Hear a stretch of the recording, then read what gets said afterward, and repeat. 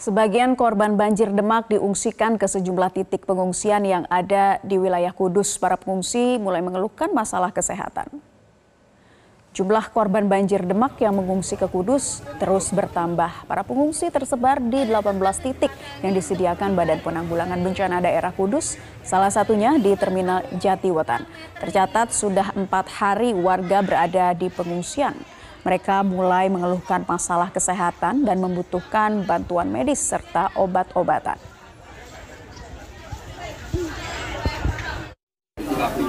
Kebutuhan yang paling dibutuhkan itu yang eh, pakaian gaya obat-obatan, eh, setelah itu bisa diberikan selimut untuk pengungsinya terus ada apa namanya jajanan-jajanan untuk anak-anak susu anak dan lain-lain itu sangat butuhkan pampers yang sebenarnya tapi jangan uh, yang pakaian ya mas pakaian kita sudah terlalu menumpuk kalau memang ada apa namanya khusus pakaian itu kita sudah tidak menerima lagi bantuan Jelajahi cara baru mendapatkan informasi. Download Metro TV Extend sekarang.